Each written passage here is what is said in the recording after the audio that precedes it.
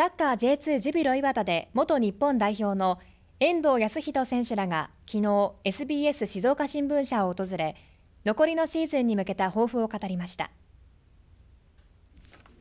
SBS 静岡新聞社を訪れたのはジュビロ磐田のミッドフィールダー遠藤康人選手と張ヶ谷武明選手です。今シーズンのジュビロは J2 リーグで20節を終えて昇格プレーオフ圏内の5位につけています。遠藤選手らはこれまでのシーズンを振り返り後半戦に向け意気込みを語りました。プレーオフ争いとか昇格争いとかかかってくるんでそこでアグレッシブにできるかっていう気持ちが大事かなと思うんで。